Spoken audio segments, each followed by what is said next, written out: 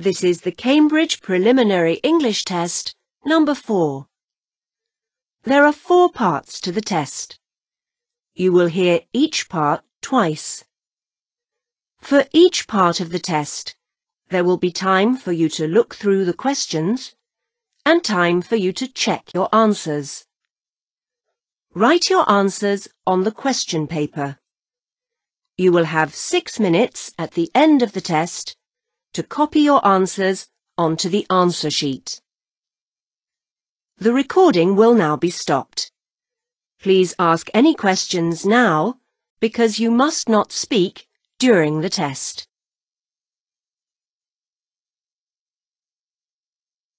Now open your question paper and look at part 1. There are seven questions in this part. For each question, there are three pictures and a short recording. Choose the correct picture and put a tick in the box below it. Before we start, here is an example. Where did the man leave his camera?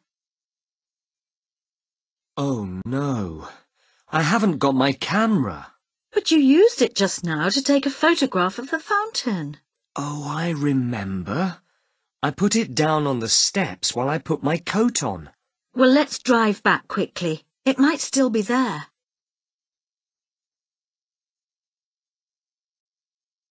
The first picture is correct, so there is a tick in box A. Look at the three pictures for question one now.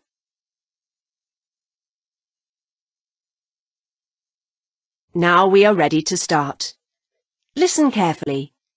You will hear each recording twice. 1. Where will the woman go first after work? Are you and Sarah going straight to the restaurant from work tonight? Actually, I'm leaving work early because I need to do some shopping in the market and I'm going to meet Sarah after that outside the cinema. She doesn't know where the restaurant is, you see. You're playing tennis after work, aren't you? Yes. So, I'll see you at the restaurant.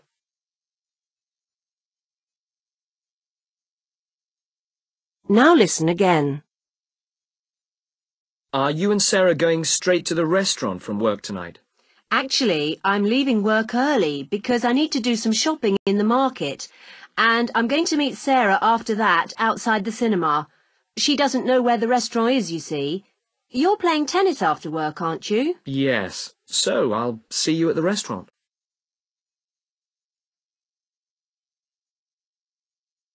Two.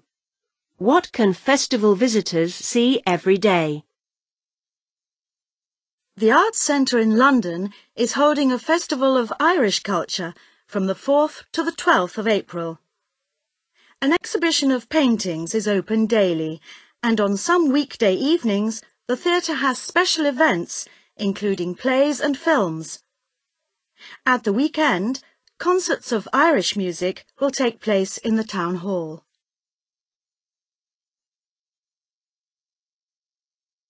Now listen again. The Arts Centre in London is holding a festival of Irish culture from the 4th to the 12th of April.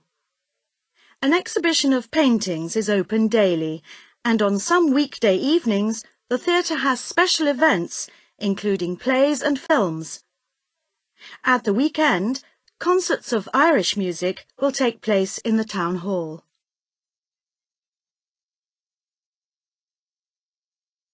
3. What souvenir will the boy's mother bring? What colour T-shirt shall I bring you from New York, Fred? I'd prefer black, but actually, a baseball cap would be a good idea. Hmm.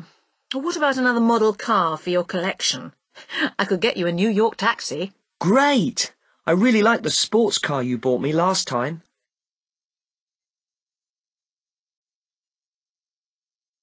Now listen again. What colour T-shirt shall I bring you from New York, Fred? I'd prefer black, but actually, a baseball cap would be a good idea. Hmm. What about another model car for your collection? I could get you a New York taxi. Great! I really like the sports car you bought me last time.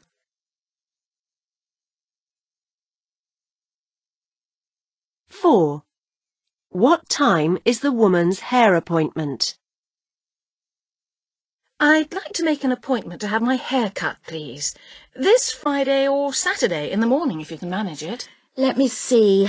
We can do Friday at 10 or 11.30.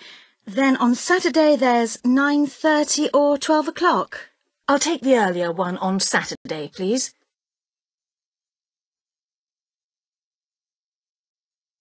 Now listen again. I'd like to make an appointment to have my hair cut, please. This Friday or Saturday in the morning, if you can manage it. Let me see. We can do Friday at 10 or 11.30. Then on Saturday there's 9.30 or 12 o'clock. I'll take the earlier one on Saturday, please.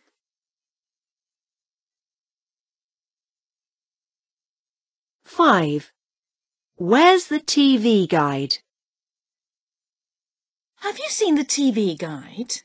Isn't it on top of the television? I had it when I was watching the film last night. I expect you left it by your chair then. Here it is under the cushion where nobody can find it. You should put it back in its place by the telephone. Then we'd all know where it is.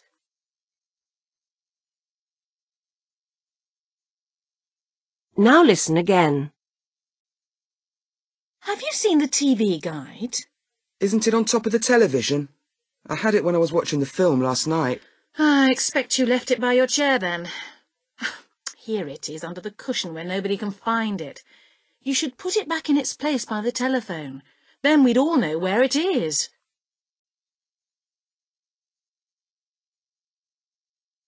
Six. What does the man decide to take Tracy? I'm going to see Tracy in hospital, but I can't think of what to take her. People always take flowers. So she'll have lots already for sure. Hmm. I always think it's nice to have something to read myself, but as Tracy's got her Walkman with her, what about something to listen to? What a good idea. It's better than taking sweets, certainly, because I know she's on a special diet while she's in hospital.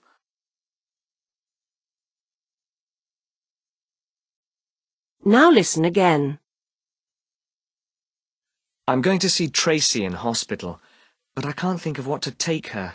People always take flowers. So she'll have lots already for sure. Hmm. I always think it's nice to have something to read myself, but as Tracy's got her Walkman with her, what about something to listen to? What a good idea. It's better than taking sweets, certainly, because I know she's on a special diet while she's in hospital.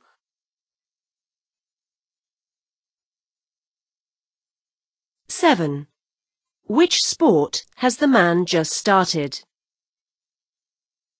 Hi, how was your holiday? Great. Really good windsurfing and sailing.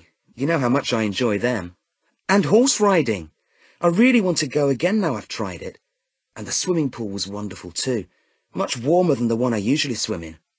Holidays are just too short.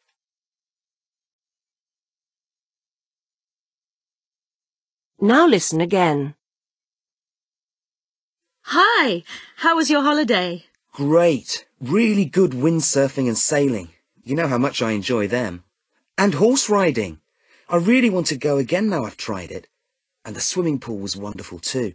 Much warmer than the one I usually swim in. Holidays are just too short.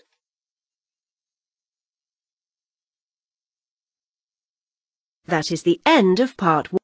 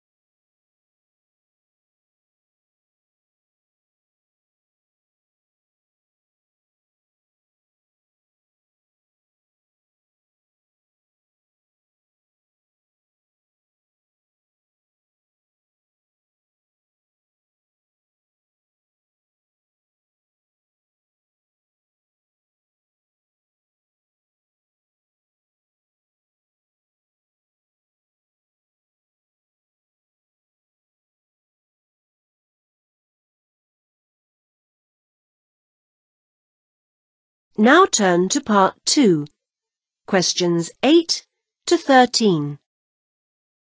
You will hear a man called John Dalin talking about the travel programs he makes for television. For each question, put a tick in the correct box. You now have 45 seconds to look at the questions for part 2.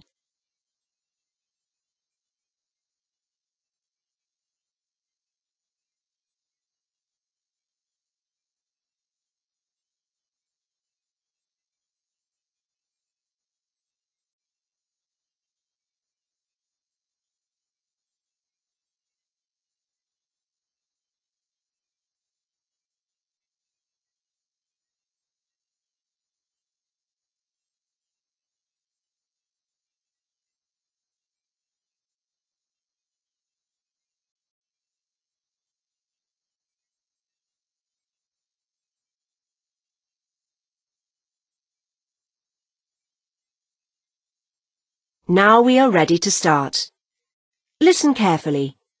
You will hear the recording twice. People always ask me why I only travel the hard way. A lot of television travel programs are about relaxing holidays on the beach, but I've only ever made documentaries about really long trips.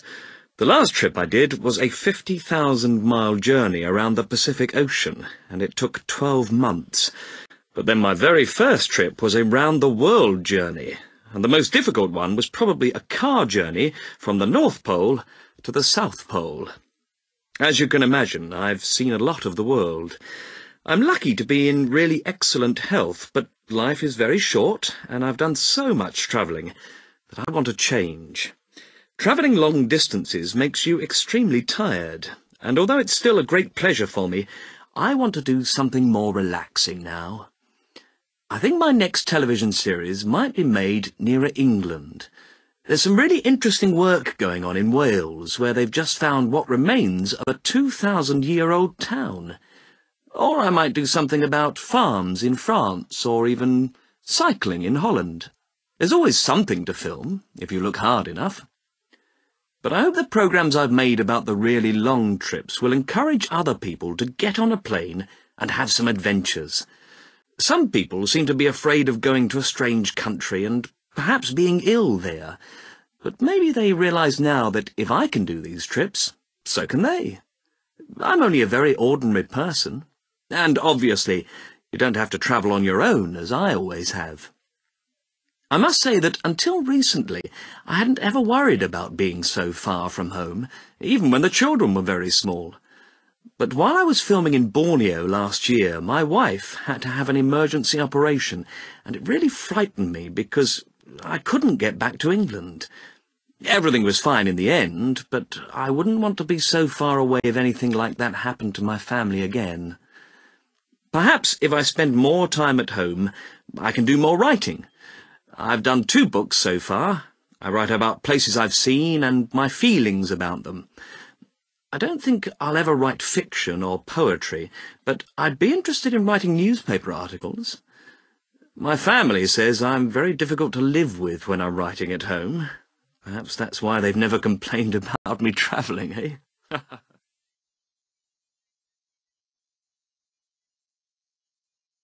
Now listen again. People always ask me why I only travel the hard way.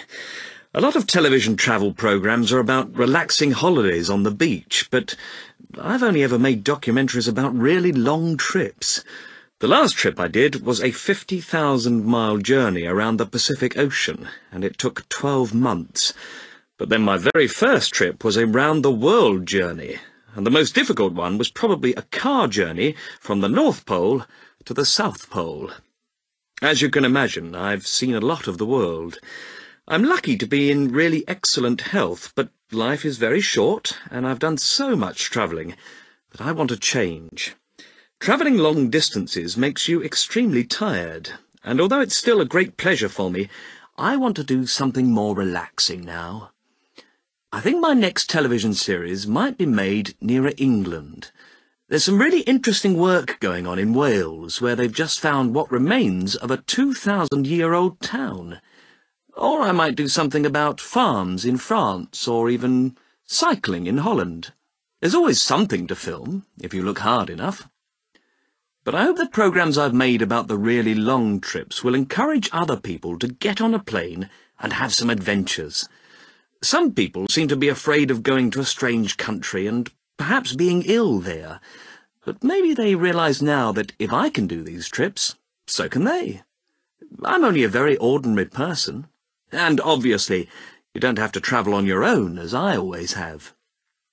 I must say that until recently I hadn't ever worried about being so far from home, even when the children were very small. But while I was filming in Borneo last year, my wife had to have an emergency operation, and it really frightened me because I couldn't get back to England. Everything was fine in the end, but I wouldn't want to be so far away if anything like that happened to my family again. Perhaps if I spend more time at home, I can do more writing, I've done two books so far. I write about places I've seen and my feelings about them.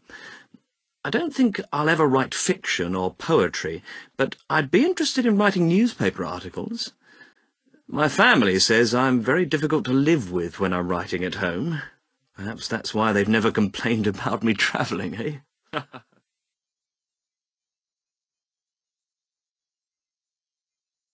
that is the end of part